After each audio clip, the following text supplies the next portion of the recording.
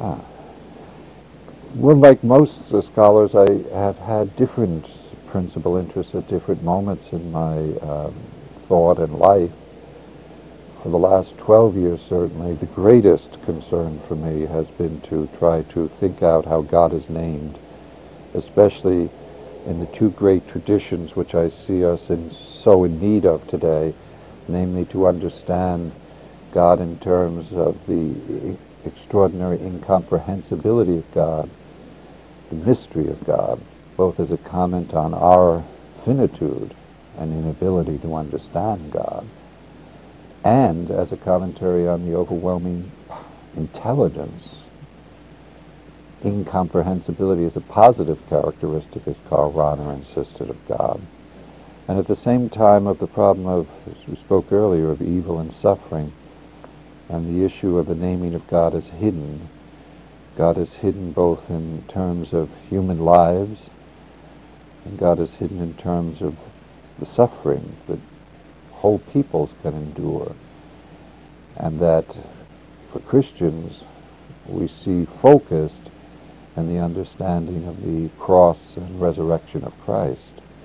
It's this, uh, this need to try, for me to try to articulate who God is how God can best be named in our time through these namings of the hiddenness of God, the incomprehensible God. In other words, of the great mystics and the great prophets who have become all the more important to me. Weren't previously, I admit. I was more interested in what might be called the mainline philosophers and theologians. Now it's the marginal, both individuals like prophets and mystics, and movements like the African American spirituals and blues and slave narratives that African American thought has shown as so important for understanding the African American experience of God and of Christianity.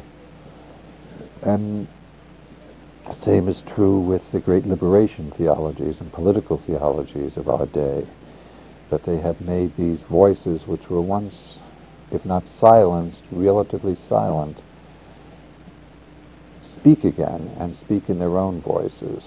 And as they speak and as we listen, it seems to me ever more clear that the reality of the hiddenness of God in history, in the self, in the realities of suffering, and the overwhelming intelligence and joy that comes with that intelligence, as you can find in the mystics,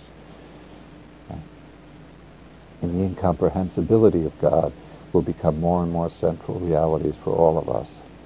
I think Karl Rahner had a point when he was quoted as saying that in the future Christians will be mystics or they won't be Christians.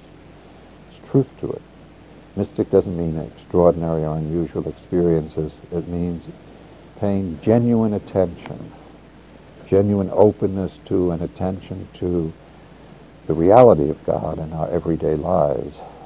And as that becomes more and more powerful, as surely it does when you read the lives of the mystics, it also becomes, for most of us, something that helps us to name God anew with intense namings, like the mystics used of the mystery or incomprehensibility of God as God, or as Luther or Calvin and Pascal and many of the great prophets used of the hiddenness of God in our lives and in the lives of especially of oppressed peoples.